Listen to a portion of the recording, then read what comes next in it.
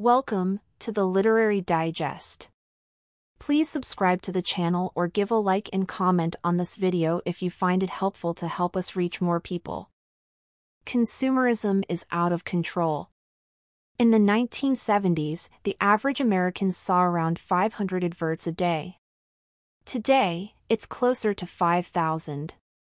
It doesn't matter what's being sold, all ads tell consumers the same thing buy more and you'll be happier. That's the message companies in the US paid an astonishing $171 billion for in 2013. It's an effective tactic, the typical household now owns 300,000 items. This addiction to consumption, Joshua Becker argues, is a problem. We can't buy our way to happiness.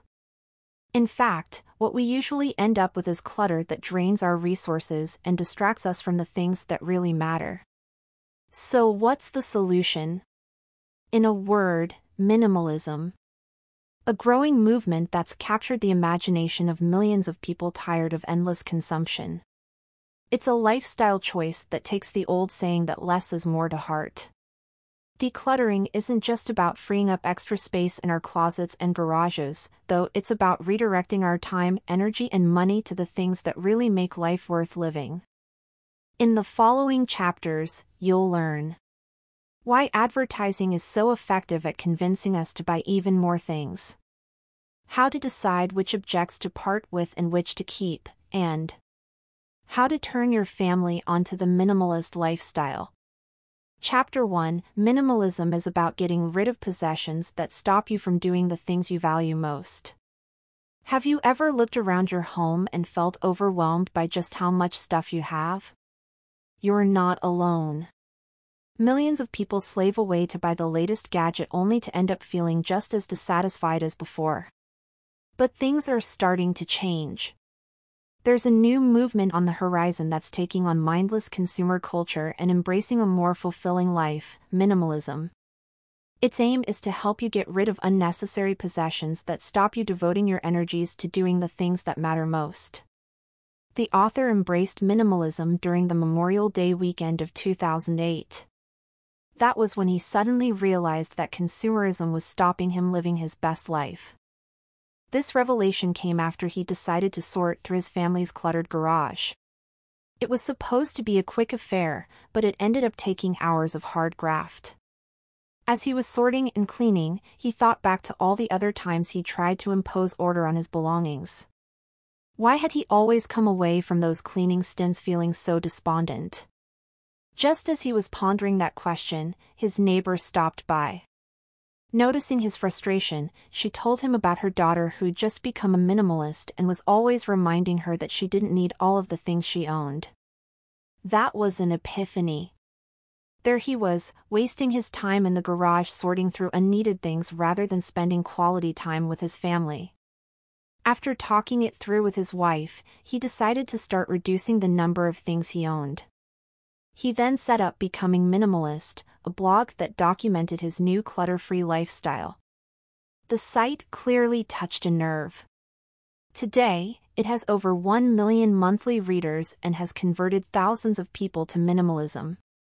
In the following chapters, we'll take a closer look at what minimalism is all about. As you'll see, the popular perception that it's about depriving yourself of the good things in life is wide of the mark. Chapter 2 Minimalism isn't about self denial, it's about getting more from less. What is minimalism? Chances are, you're picturing Spartan interiors and a lifestyle that does away with objects for its own sake. But minimalism isn't about self denial. In fact, minimalists get much more out of their lives. For example, do you want more flexibility in your life? Many minimalists have discovered that decluttering their homes means they are free to work and live wherever they want. Take freelance journalist Annette Gartland. She felt suffocated by all the stuff she'd acquired over the years, especially when she returned home from lengthy trips abroad. In 2013 she made a radical decision, she decided to become a minimalist. After three months of hard work, she managed to pare her belongings down to just a few boxes and sold her house and car. She hasn't looked back. Today she lives the free-spirited life of a global nomad, spending most her time in Southeast Asia where she lives in apartment shares, houses its and hotels. But you don't need to travel to the ends of the earth to reap the rewards of minimalism. It's a lifestyle that can also help you focus on what's already right in front of your nose. When Dave and Cheryl's kids left home, the couple took a long overdue road trip from their home in Oregon down to the West Coast. While on the road, they happened to catch a podcast about minimalism. It changed their lives. Money wasn't a real issue for them, but they realized that their upper middle class dream home was eating up more of their resources than necessary. Did they really need that perfect couch for their living room? Wouldn't they be better spending that money on their family, health, and faith? When they got home, they put the plan they'd hatched during their road trip into action. They sold half of their belongings and downsized to a smaller home across the street. The move soon paid off. Dave suddenly had more time for their family and church and even took up writing. Cheryl freed up some valuable headspace to think about her legal career, eventually deciding to specialize in mediation rather than litigation. This is a great example of how minimalism can change your life. But remember, there's no one-size-fits-all solution. So read on to discover what kind of minimalism might work for you. Chapter 3 Give yourself an overview of your spending habits by understanding consumer culture and the power of advertising. Adverts are everywhere. Whether you're online, watching TV or driving through town, you see thousands of ads every day. So how much influence do they really have? If you want to understand your spending habits, it's a good idea to look at consumer culture and the roles of marketing and advertising. The big picture is this Americans are buying more today than ever before. Take Anthony and Amy. They had always wanted to go on a family vacation but somehow never seemed to have enough money. Amy had a suspicion about where all their cash was going. How much, she wondered, did their Amazon orders add up to? The pair weren't spending extravagantly. Most of their orders were for small items and came to less than $40. However, adding everything up told a different story, they'd spent more than $10,000 over four years. Anthony and Amy's behavior is part of a much wider epidemic of excessive consumerism. The average American household owns twice as much as it did 50 years ago. Today, a normal house contains something like 300,000 individual items. No wonder average home sizes have tripled and 1 in 10 people rent a separate storage unit. So how did we get here as a society? You don't have to look far for the answer. Spending habits are massively influenced by marketing and advertising. Think of sale items they're much more likely to find a buyer than regular products. That was something JCPenney's CEO learned after getting rid of special offers and simply reducing the price of all products. With no sales promotions, purchases and profits plummeted, and the CEO was soon looking for a new job. But the best evidence of the effectiveness of marketing is just how much companies fork out for advertising. After all, you don't spend $171 billion as they did in 2013 on something you merely hope might work. Understanding the power and influence of advertising and remembering not to be unduly influenced by it is one of the first steps toward a minimalist lifestyle. Chapter 4 Articulate the reasons you want to become a minimalist and begin by clearing out the easy stuff. If you're thinking of adopting the minimalist lifestyle, you might be wondering where to start. After all, the prospect of going through all that stuff or fighting with the kids about their old toys can be pretty daunting. It's true that the path to minimalism isn't an easy one. That said, there are some strategies that can help get you there. The best place to begin your journey is to be clear about why you want to reach your destination in the first place. What is it, in other words, that minimalism can offer you. There are all sorts of answers. Perhaps spending less money on clothing will free up extra resources to think about your career. Or maybe saving some extra cash every month will put you on track toward the early retirement you've always dreamed about. It's important to ask yourself this question because minimalism isn't just about decluttering, it's about focusing on the things you really care about. The next step on your journey is dividing your belongings into different categories. Begin by identifying the things that are the easiest to part with. The tough decisions about objects of sentimental value can wait. That's exactly what the author did. Once he decided to go minimalist, he started with his car. It was full of useless clutter like old CDs, small toys and unworn sunglasses exactly the kind of things that are easy to clear out without too much heartache. Soon his car was clutter-free, with only essentials like the proof of insurance remaining. So that's how you start becoming a minimalist. Articulate your reasons and start by throwing out the things that matter least to you. Chapter 5 keep your most valued sentimental objects and experiment to see what you can live without. So you've ditched your least meaningful belongings. Now comes the tricky part, deciding what to do with objects of sentimental value. It's normal to worry about clearing out things associated with precious memories or regretting throwing something out after it's already gone. Therefore, your best bet is to take a systematic approach to decluttering. That way you'll find an approach to minimalism that really works for you. Here are a few tips. First off, go through your sentimental objects and decide what's most important. One thing lots of budding minimalists ask the author is what they should do with their books. The idea of losing a library that you've slowly built up over the years is an uncomfortable one. Doesn't every volume tell a story about your life? Well, no. Books don't define who you are. People usually keep them for all sorts of reasons that have nothing to do with sentimental value they want to show how well read they are or think they might need them for future reference. But that won't make you happy. So keep your absolute favorites and give the rest away. That act of kindness really will contribute to your happiness. If you're worried that you'll end up regretting your decision to toss something, try living without it for a while. When Courtney Carver was diagnosed with multiple sclerosis, she started working on cutting out sources of stress in her life to prevent the condition from advancing.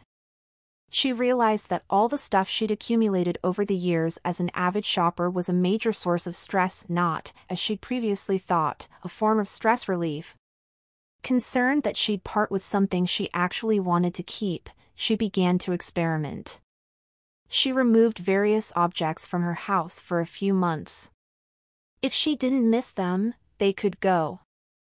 She also applied this principle to her wardrobe, launching something she called Project 333. That involves selecting 33 items of clothing, excluding essentials like underwear, and keeping them in her closet for three months. Once she realized she didn't need the clothes that had been stored away, she donated them. Hundreds and thousands of people who've used these kinds of strategies have realized that it's possible to live in an uncluttered home without waking up to find that they have nothing to wear. Chapter 6 Navigate the seas of consumerism in your minimalist boat by establishing new habits. You've taken the plunge and decided to embrace minimalism, great. Now it's time to learn to navigate the vast oceans of consumerism in your minimalist boat. Like captaining any vessel, it takes a sure hand and a strong sense of orientation. Luckily, there are plenty of ways you can start changing your buying habits and avoid the choppy waters of consumption-driven public holidays. If you find it hard to resist the constant temptation to buy things, try taking a break from shopping altogether. That's what Sarah Peck did. An Ivy League graduate with a good job in San Francisco, she was regularly getting to the end of the month with very little money left. Sarah realized that a large part of the problem was her taste for expensive clothes. Dropping $400 on a new outfit had become second nature, hardly surprising for someone with a good income living in such a fashion-conscious society. She decided to select her favorite clothes from her wardrobe and throw away the rest. The next step? Take a year-long break from shopping. It was an empowering choice. She suddenly had more time and money to spend on athletics and hanging out with her friends. Another way to maintain your minimalist lifestyle is to let people know in advance what gifts you'd like to receive. A commitment to minimalism doesn't have to sour the holiday spirit, but you can avoid accumulating unwanted possessions by telling the non minimalists in your life what you'd like for Christmas. Take the author. Gift giving made him anxious at first. He didn't want to be a Scrooge like presence over the holidays complaining about consumer culture. But he also didn't want any useless gifts. The solution to the dilemma was simple being proactive and telling his wife what he actually needed. In his case, it was the gym membership he'd been meaning to take out for ages. It turned out to be a great gift as he was able to concentrate on his health and fitness for the first time in years. If you don't want any gifts, just remember that you can always ask your loved ones to make a donation to a charity of your choice.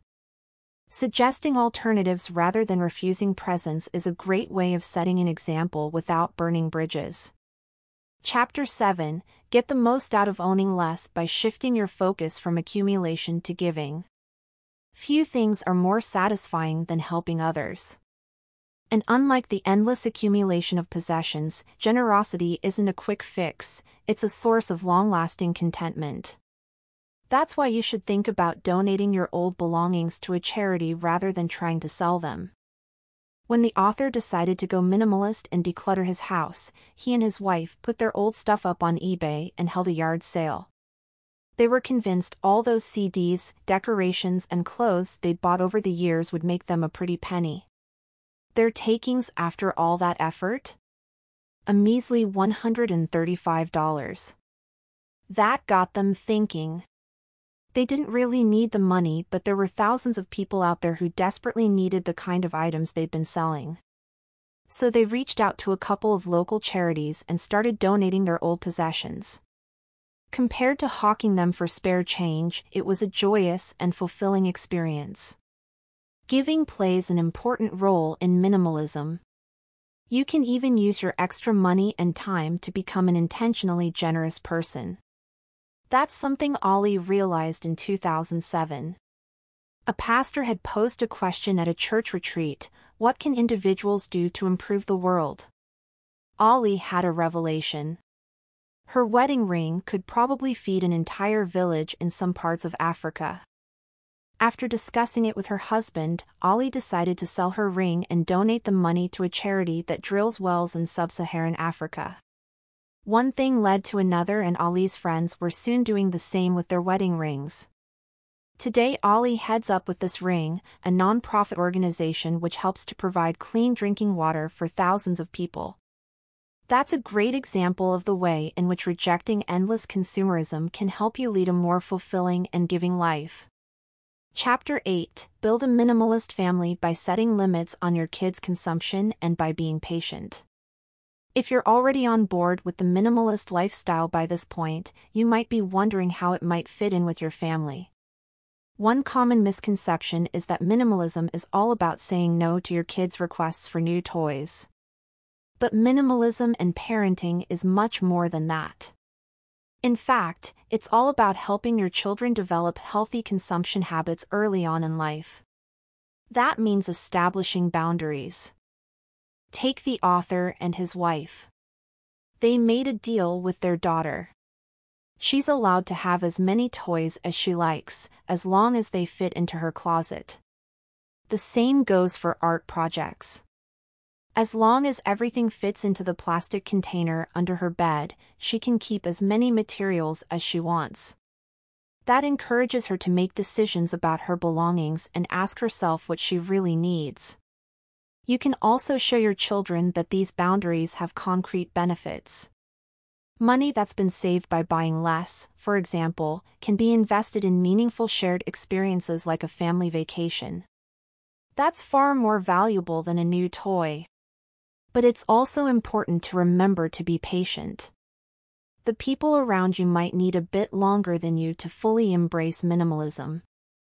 The author once received an email from a recent convert to the minimalist lifestyle.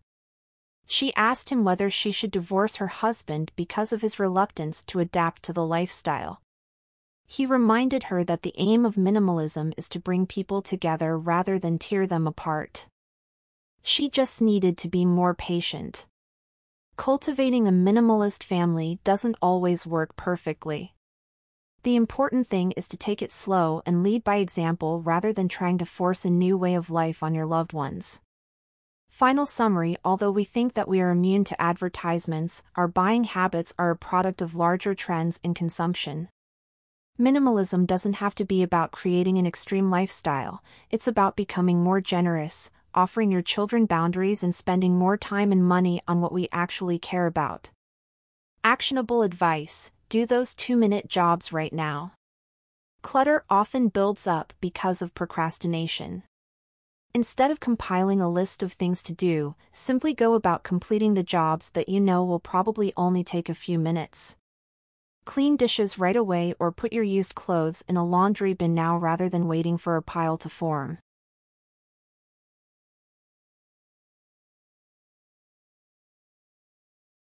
Thanks for listening. If you enjoyed this, please like and subscribe to the Literary Digest for more videos like this one. And don't forget to leave a comment below and let us know what you found most helpful. Until next time, keep striving for success.